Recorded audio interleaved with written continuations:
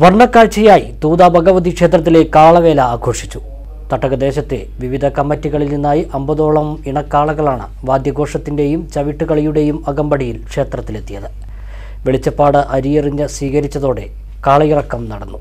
തുടർന്ന് പഞ്ചവാദ്യം മേളം കാളപ്രദക്ഷിണം എന്നിവയുമുണ്ടായി. കൂടിക്കാഴ്ചയും കുടമാറ്റവുമായി തൂത പൂരം ഇന്ന്